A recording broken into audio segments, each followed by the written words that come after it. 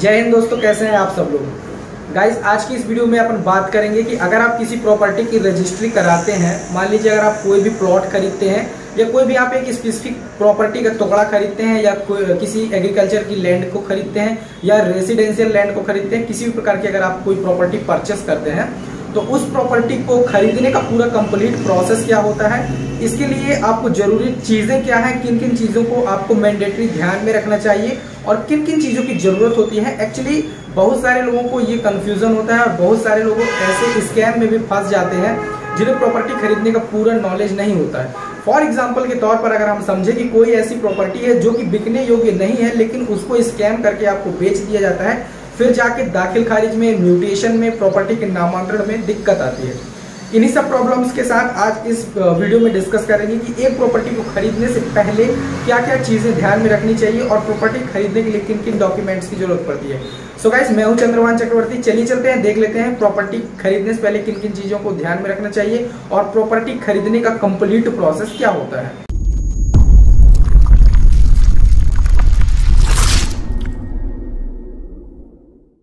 किसी भी प्रॉपर्टी को परचेस करने से पहले सबसे पहले ये मेक श्योर sure करना, ये तय करना बहुत ही ज़रूरी होता है कि प्रॉपर्टी का टाइप क्या है। फॉर एग्ज़ाम्पल जैसे प्रॉपर्टी एक सेवा भूमि की प्रॉपर्टी है, या फिर प्रॉपर्टी एक इंडिविजुअल प्रॉपर्टी है, यानी कि किसी मालिक की ऑनर की प्रॉपर्टी है, या किसी ऑनर की प्रॉपर्टी है पर्टिकुलर किसी कब्जेदार की प्रॉपर्टी है, या प्रॉपर्टी पट्टे की प्रॉपर्टी है, या किसी भूदान की प्रॉपर्टी है। अगर प्रॉपर्टी किसी शासकीय कब्जे की प्रॉपर्टी या किसी भूदान की प्रॉपर्टी है, या फिर किसी पट्टे की प्रॉपर्टी या काबिज प्रॉपर्टी है, या नजूल की प्रॉपर्टी है तो ऐसी प्रॉपर्टी को आपको परचेस नहीं करना चाहिए, क्योंकि ऐसी प्रॉपर्टी की रजिस्ट्री तो मान लीजिए किसी तरीके से होती नहीं है, लेकिन अगर किसी तरीके से आपने करवा भी ली तो उस प्रॉपर्टी का म्यूटेशन आपका नहीं होगा। यानी कि अगर प्रॉपर्टी सेवा भूमि की जो कोटवारों को दी जाती है, अगर वो प्रॉपर्टी है, या फिर पट्टे की प्रॉपर्टी है, या फिर भूदान की प्रॉपर्टी है ऐसी प्रॉपर्टी की आप रजिस्ट्री अगर करा भी लेते हैं तो जब आप इस प्रॉपर्टी का म्यूटेशन अपने नाम पर कराएँगे, जब दाखिल खारिज अपने नाम पे कराएँगे तो वो नहीं होगा और आपके पैसे वेस्ट हो जाएँगे। दूसरी सबसे इंपॉर्टेंट बात ये होती है कि अगर प्रॉपर्टी किसी भू स्वत्व की प्रॉपर्टी है या किसी भू अर्जिन की प्रॉपर्टी या भू अधिकार की प्रॉपर्टी है, मान लीजिए किसी पार्टिकुलर आदमी के नाम पर रजिस्टर्ड प्रॉपर्टी है और वो प्रॉपर्टी मान लीजिए शासकीय प्रॉपर्टी नहीं है और उस प्रॉपर्टी को आप खरीद रहे हैं तो सबसे पहले आप ये देखिए कि क्या उस प्रॉपर्टी पर किसी प्रकार का कोई केस चल रहा है सिविल स्तर पे या फिर न्यायालय स्तर पे या तहसील स्तर पे या फिर हाई लेवल पे किसी भी प्रकार का अगर उस प्रॉपर्टी पे कोई केस चल रहा है तो सबसे पहले आप उस केस की जाँच पड़ताल कीजिए कि आखिर इस प्रॉपर्टी से रिलेटेड जो भी केस चल रहा है, उस केस की जड़ है, क्या है और उस प्रॉपर्टी का जो केस है, किस प्रकार का चल रहा है, इसको आप तभी लीजिए जब इस केस का पूरी तरह से डिसीज़न हो चुका हो या फिर वो प्रॉपर्टी किसी भी प्रकार से बंधक ना हो।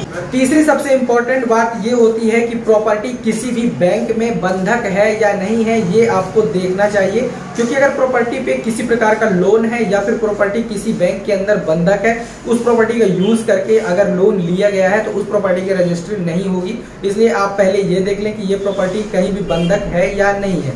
तभी आप उस प्रॉपर्टी की रजिस्ट्री के लिए पैसे इन्वेस्ट करें। इसके बाद सबसे जो इम्पोर्टेंट चीज़ है वो ये है कि प्रॉपर्टी का जो टाइप है वो किस प्रकार का है। एक प्रॉपर्टी इंडिविजुअल भी हो सकती है और शामिल खाते की प्रॉपर्टी भी हो सकती है। फॉर एग्ज़ाम्पल के तौर पर अगर आप किसी प्रॉपर्टी को खरीद रहे हैं, उसके चार हिस्सेदार हैं तो वो शामिल खाते की प्रॉपर्टी कहलाएगी। लेकिन अगर उस प्रॉपर्टी का कोई एक मालिक है, कोई एक भूमि स्वामी है तो वो प्रॉपर्टी इंडिविजुअल प्रॉपर्टी कहलाएगी। अगर शामिल खाते की प्रॉपर्टी है तो इसमें सबसे पहले आपको ध्यान देने वाली बात यह है कि जो भी आदमी प्रॉपर्टी को बेच रहा है, उसमें उस प्रॉपर्टी का टोटल हिस्सा कितना है? फॉर एग्ज़ाम्पल अगर एक प्रॉपर्टी 20 आरे है और उसके चार मालिक हैं तो प्रत्येक आदमी के हिस्से में पाँच पाँच आरे की प्रॉपर्टी आएगी। लेकिन अगर वो आदमी आपको पाँच आरे से ज़्यादा की प्रॉपर्टी बेचता है तो आपको प्रॉपर्टी नहीं खरीदनी चाहिए। इससे पहले आपको उस प्रॉपर्टी का बंटवारा करवाना चाहिए, उससे बोल के या फिर बेचने वाले से कि आप इस प्रॉपर्टी का बंटवारा इंडिविजुअल कराइए, तब जाके इस प्रॉपर्टी को हम खरीदेंगे। अगर प्रॉपर्टी शामिल खाते की प्रॉपर्टी है तो वो प्रॉपर्टी किस टाइप की प्रॉपर्टी है, ये आपको देखना चाहिए एंसेस्ट्रल प्रॉपर्टी है, या फिर उन चारों हिस्सेदारों ने मिलकर उस प्रॉपर्टी को परचेस किया हुआ है। अगर प्रॉपर्टी एंसेस्ट्रल प्रॉपर्टी है तो जो आदमी अपने हिस्से की प्रॉपर्टी बेच रहा है, हो सकता है कि उसके घर वालों को, उसके विधिक वारसानों को इस चीज़ से आपत्ति हो और वो रजिस्ट्री होने के बाद उसमें नामांतरण में दाखिल खारिज में रोक लगा दे और आपका नामांतरण नहीं होगा।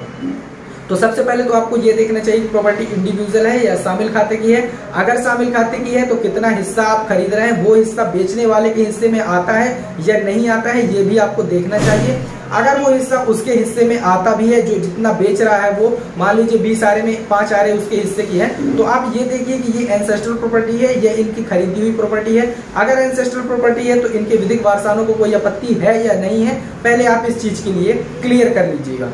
यही सेम कंडीशन लागू होती है इंडिविजुअल प्रॉपर्टी में। अगर प्रॉपर्टी का टाइप इंडिविजुअल भी है, उसका कोई एक ऑनर भी है तो भी आपको ये चेक करना बहुत ज़रूरी है कि प्रॉपर्टी का टाइप एंसेस्ट्रल प्रॉपर्टी है या फिर वो एक सेल्फ एक्वायर्ड प्रॉपर्टी है। अगर सेल्फ एक्वायर्ड प्रॉपर्टी है, तब तो कोई दिक्कत नहीं है। प्रॉपर्टी ऑनर उसे कभी भी बेच सकता है।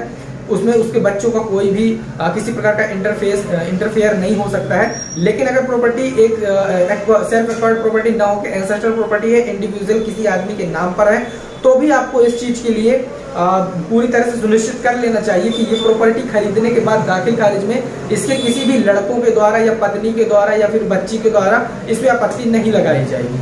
इसके बाद आता है कि प्रॉपर्टी खरीदने से पहले आपको प्रॉपर्टी का पावर ऑफ़ अटॉर्नी चेक करना चाहिए। क्या इस प्रॉपर्टी के नाम पर किसी को पावर ऑफ़ अटॉर्नी दी गई है या फिर पावर ऑफ़ अटॉर्नी साइन किया गया है? ये आपको जानना बहुत ही ज़रूरी होता है, क्योंकि पावर ऑफ़ अटॉर्नी के तहत अगर आप किसी प्रॉपर्टी को खरीदते हैं और जाके अगर बाद में अगर प्रॉपर्टी का ऑनर इस पर ऑब्जेक्शन लगाता है तो भी आपत्ति आ सकती है दाखिल खारिज में या नामांतरण में। तो आपको पावर ऑफ़ अटॉर्नी भी चेक करना बहुत ही ज़रूरी होता है, इसलिए पावर ऑफ़ अटॉर्नी पहले चेक कर ले। नेक्स्ट जो सबसे इंपॉर्टेंट चीज़ है, किसी प्रॉपर्टी को खरीदने से पहले वो ये सोचना और ये जानना बहुत ही ज़रूरी है कि जिस भी प्रॉपर्टी को आप खरीद रहे हैं, जिस भी प्रॉपर्टी को आप परचेस कर रहे हैं वो प्रॉपर्टी किसी दूसरे के नाम पर गिरवी तो नहीं रखी हुई है, या फिर किसी प्रकार की रजिस्टर्ड वसीयत तो उसके नाम पर नहीं की गई है, या फिर किसी प्रकार का मुख्तारनामा तो नहीं बनाया गया है, ये आपको सब कुछ सुनिश्चित कर लेना चाहिए। अगर प्रॉपर्टी कहीं भी रहन या गहन में है, या फिर किसी प्रकार की वसीयत उस प्रॉपर्टी से रिलेटेड बनाई गई है या दान पत्र बनाया गया है तो आपको उसकी जड़ पता करनी चाहिए और ऐसी प्रॉपर्टी को परचेस नहीं करना चाहिए, जब तक कि प्रॉपर्टी पूरी तरह से क्लियर ना हो। इन सारी चीज़ों को कंफर्म करने के बाद अगर ये सारी चीज़ें ट्रू हैं तो ही आप प्रॉपर्टी परचेस करें अदरवाइज़ आप प्रॉपर्टी परचेस के अपना जो भी प्लान है, उसे पोस्टपोन करें और इन सारी चीज़ों को पहले कंफर्म करें। इसके बाद आता है कि प्रॉपर्टी परचेस करने के लिए किन किन डॉक्यूमेंट्स की ज़रूरत होती है। तो सबसे पहले डॉक्यूमेंट्स जो होते हैं प्रॉपर्टी परचेस करने के लिए, वो उस प्रॉपर्टी के लैंड डॉक्यूमेंट्स होते हैं, जैसे कि उसका बी वन पी टू या फिर खसरा, नक्शा, खतौनी किस्तबंदी आप बोल सकते हैं। तो आपको इन चीज़ों को निकलवा लेना है, इनके सर्टिफाइड कॉपी आपको निकलवा लेना है। ये जो जितने भी सारे पॉइंट्स हैं, इनको आप आसानी से पता कर सकते हैं प्रॉपर्टी के खसरे से या किस्त बंदी से। जैसे कि उस पर बंधक भी लिखा होता है उसमें कितने शामिल खाते धारक हैं, या फिर उस प्रॉपर्टी का टोटल एरिया कितना है, ये आप प्रॉपर्टी के लैंड से रिकॉर्ड से पता कर सकते हैं। लैंड रिकॉर्ड के लिए हर एक स्टेट की अपनी अपनी एक इंडिविजुअल वेबसाइट है। उस वेबसाइट पर जाके आप प्रॉपर्टी का सारा ब्यौरा देख सकते हैं, या फिर आप अपने पटवारी या लेखपाल से भी पता कर सकते हैं कि ये प्रॉपर्टी कैसी है, हमें इस प्रॉपर्टी को परचेस करना चाहिए या नहीं करना चाहिए। तो वो सिंपल आपको एडवाइस देंगे कि हाँ इस प्रॉपर्टी को परचेस आप कर सकते हो या फिर नहीं कर सकते हो। इसके बाद आप जब उस प्रॉपर्टी के सर्टिफाइड खसरा नक्शा किस्तबंदी निकाल लेते हैं तो दूसरे डॉक्यूमेंट्स में आपको प्रॉपर्टी सेलर और प्रॉपर्टी बायर के फ़ोटो साथ में लेने होते हैं। जैसे कि आपको ये साइड में दिख रहा है, ऐसे आपको फ़ोटो लेने पड़ते हैं। तीन साइड से आपको फ़ोटो लेनी है, तीन डायरेक्शन में आपको फ़ोटो ये ले लेनी है। इसके बाद नेक्स्ट चीज़ होते हैं दो गवाह आपको रजिस्टर कराने के लिए किसी भी प्रॉपर्टी की दो गवाहों की ज़रूरत होती है। उन दो गवाहों को आप लाएँगे साथ में और ये सारे डॉक्यूमेंट्स कलेक्ट करेंगे। सारे डॉक्यूमेंट्स कलेक्ट करने के बाद आप अपनी तहसील में जाएँगे। वहाँ पर सर्विस प्रोवाइडर होते हैं। सर्विस प्रोवाइडर या फिर उन्हें अर्जी अवीस भी कहा जाता है, जो कि आपकी डीड तैयार करते हैं। सैंडीड को वो तैयार करते हैं और उसे अप्रूवल के लिए रजिस्ट्रार ऑफ़िस में भेजते हैं। जब वो एक बार तैयार हो जाती है तो आपको वहाँ पर अपनी फ़ीस पे करनी है। जितनी भी रजिस्ट्रार रजिस्ट्रार की जो सर्विस प्रोवाइडर की शुल्क होती है, जो रजिस्ट्री चार्ज होता है, वो आपको वहाँ पर स्टाम्प ड्यूटी पे करना है। स्टाम्प ड्यूटी पे करने के बाद आपको रजिस्ट्रार ऑफ़िस में जाना है, यानी कि पंचक अधिकारी के पास। वो सर्विस प्रोवाइडर फॉरवर्ड करता है पूरी की पूरी सैलरी रजिस्ट्रार को रजिस्ट्रार यानी कि उप पंजीयक या पंजीयक को।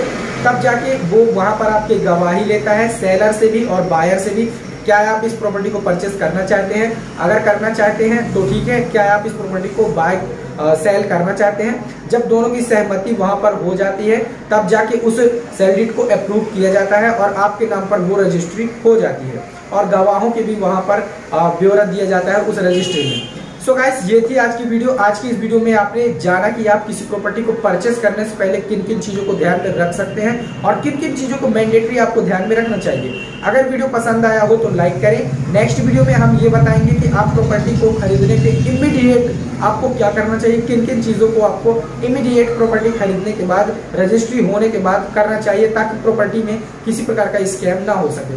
सो दोस्तों, ये वीडियो काफ़ी लंबा हो जाएगा। सो नेक्स्ट वीडियो में हम आपको बताएँगे कि प्रॉपर्टी परचेस करने के इमीडिएट बाद आपको क्या क्या चीज़ें कर लेनी चाहिए। थैंक्स दोस्तों, मिलते हैं नेक्स्ट वीडियो में, तब तक के लिए जय हिंद, टाटा बाय बाय